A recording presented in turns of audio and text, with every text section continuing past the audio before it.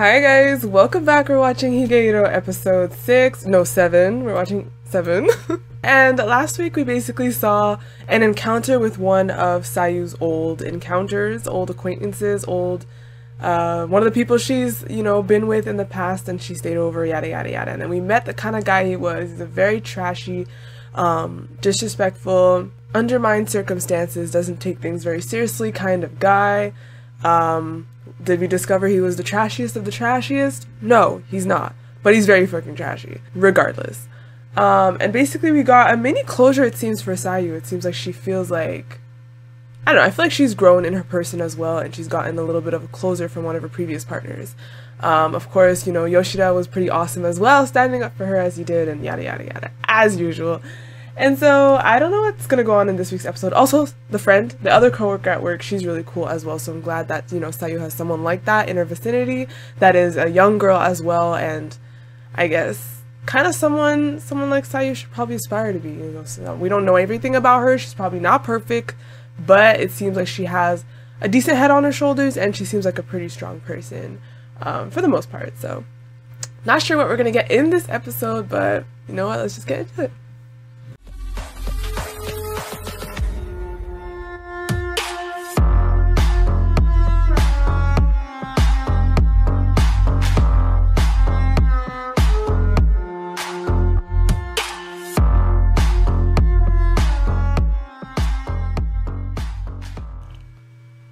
Episode is called Yearning, and we see Mishima on the cover.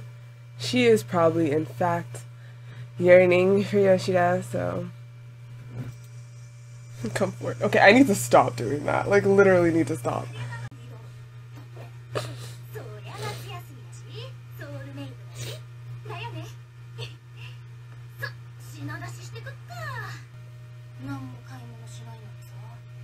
Oh, are they like people watching her? Like they're looking for her? Cause she's a missing girl, right? This could get Yoshida in trouble if they follow her to like where she lives. I figured they'd be officially bringing that at some point.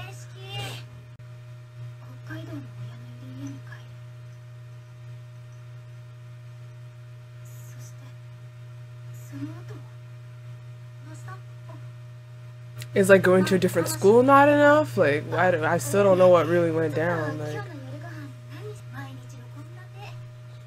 seriously, I barely feed myself.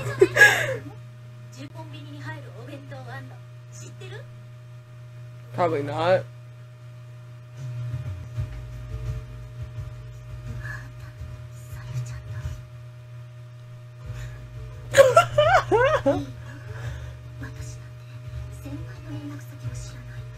Oh, you should have gotten that a long time ago, sis.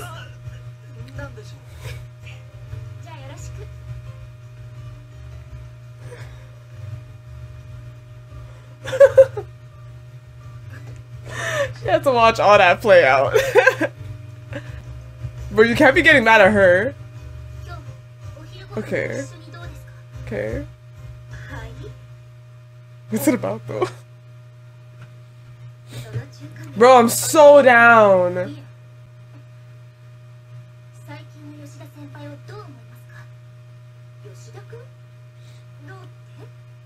She want to know if she's serious about him?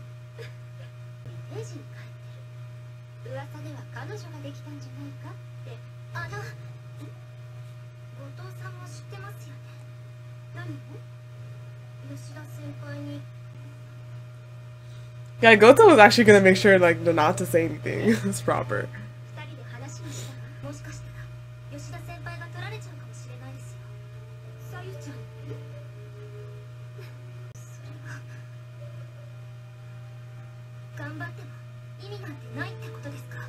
That's not what that means.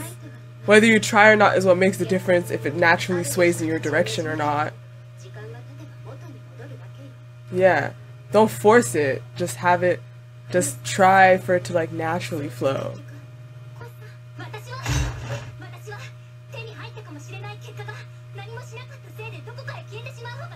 Well, yeah, you're supposed to do your best and do your thing. Seriously, you're mad loud. Like, yes. like, what?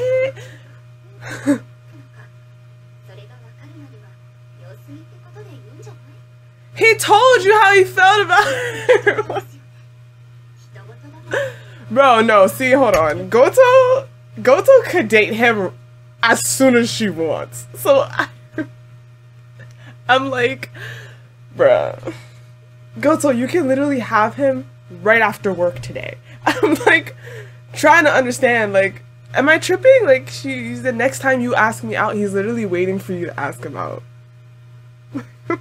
he already says I'm not into Sayu. Like, waiting for what? Like, girls, ladies, ladies, ladies. Why? I don't understand. He literally has a crush on you. He likes you, so what? Y'all weird.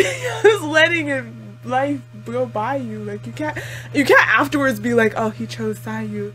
That was just the way it was meant to be. It's like sis, you never did anything. What if you just wait?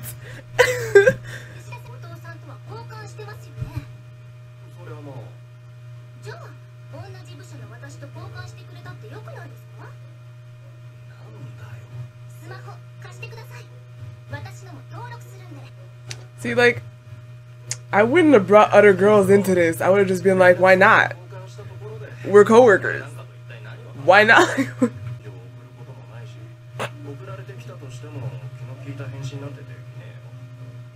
Wow, you're the densest.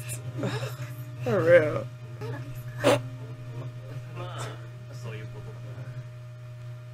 That is so sad.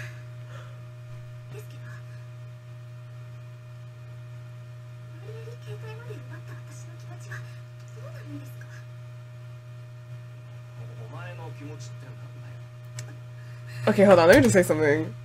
I still don't have the biggest problem with Mishima I like her passion. Like, she seems like a chill girl. She seems like she could be a cool girl when things go her way or when she understands them. I feel like, you know, she could be a chill person, really. Um, I guess I just don't relate. Like, I'm just so chill. she's just, she's not chill enough for me. Like I like how go how chill Goto is more as a person. I still feel like what she said is like nonsense. Like what do you mean you're just gonna let it be? Like what? But aside from that, it's just like just, just chill. We're chilling out here.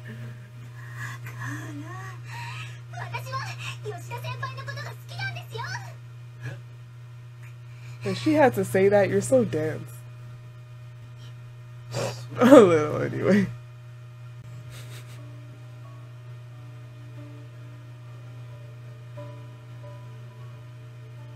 That was cute as yeah, she gonna respond. this is like so weirdly cute. That's adorable. Bro, you're getting bitches, bro. I don't know why. That looks so- Bruh, that looks so good. I've only had katsudon once in my life, and that was after the whole Yuri on Ice thing. I'm like, Dad, take me to- It was my birthday, and I'm like, we're going to a Japanese restaurant.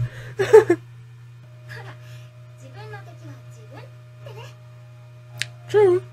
That is factual information. We constantly need to be winning over ourselves. That's kind of like what she was trying to say today. I've made a lot of choices to help Sayu. At least I thought I had, but... I wanted to do it doesn't matter! You do what you want and it helps somebody else too. That's a win-win. And we know he's not selfish. Like, he's not only thinking of himself. Like, it's just...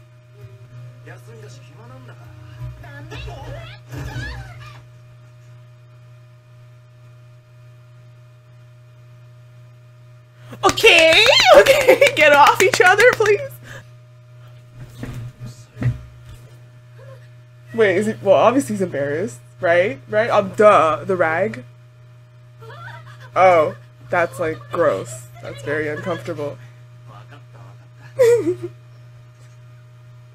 Thank you.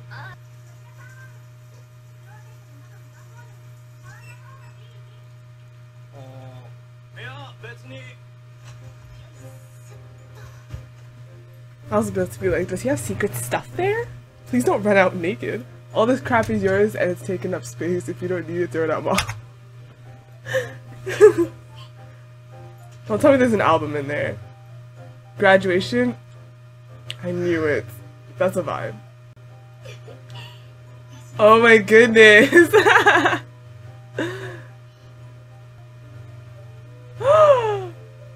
right, we saw this. That was his high school crush.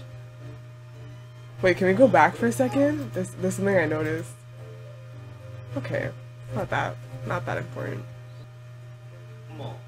Oh, really?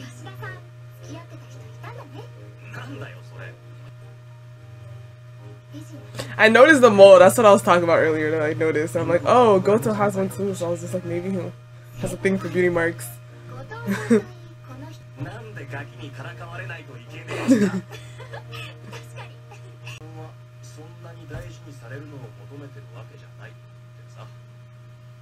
What?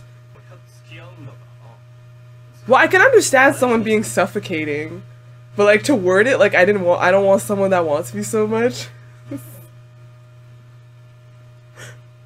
Just want me half. I want you I want you to want me like like 70% like what?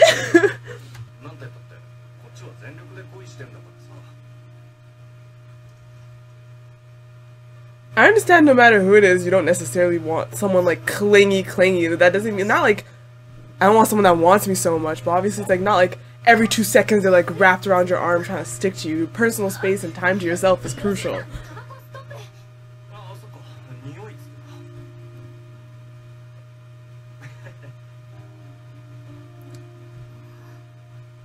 So like, why do I feel like this moment was kind of important? Not about her feelings, just more about like the whole smoking thing and the way he smiled after, I feel like there was something about him about that scene that was more important. Like, either how he does put others first, maybe he needed to smoke there because, like, the topic, I don't know. Are they, like, watching her because she's a runaway? Like, is it like someone she's been with in the past that's stalking her? Handsome! Oh, it's one of her past people.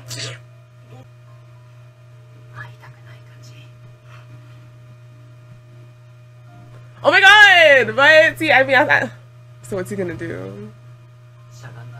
You know, get into the office. Like, you know? You know, like, I, I know his character. Like, they really show trashy sides to him, but he's definitely not the worst of the worst. Like, he has, he has a conscience. That's the word I said. He has, like, a, a bit of a conscience to a degree. Like, he's not, like, the... Anyways, yeah.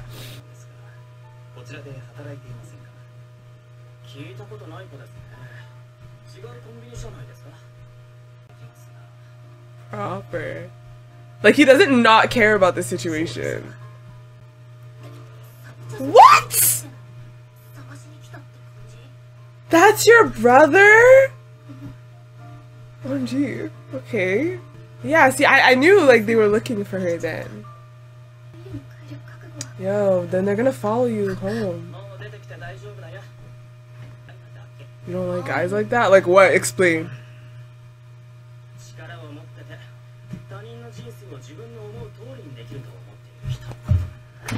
Hold on a minute. Hold on a minute, child. Let me have a little discussion with you, homeboy. Are you not the same person that used your physical power to pin the girl down in the house? Nah. See? See? You had the power when you owned the apartment and you knew. I'm sorry, I'm sorry. It's just. It's okay. I know I've explained this character before. I get him. But what? What? But you know what? Nah, I, I feel him still. This line, I get it. I get it. People with power, power, like power, power, not just the upper hand, but like power, power. Like you can tell he's like the the f the popo type of person, like.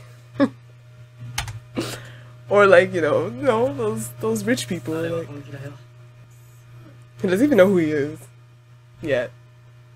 That's her brother.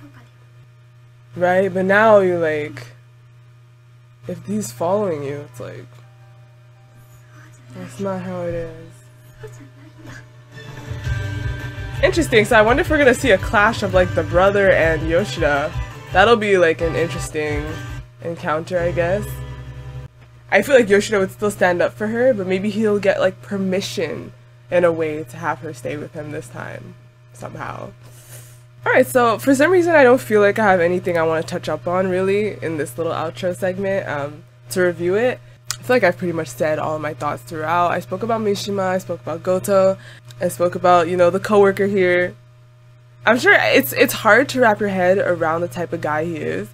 But I hope a lot of you guys do understand. Like the reasons why is because the reasons why I'm like constantly why I'm so um intent on expressing to you guys the kind of character he is is because I feel like he's the character in the show that can easily create this like this confusion in terms of how to respond to him, whether to dislike, be angry, or like him as a character. And I think it's just more than that. It's more than just black and white. I hate or like this guy.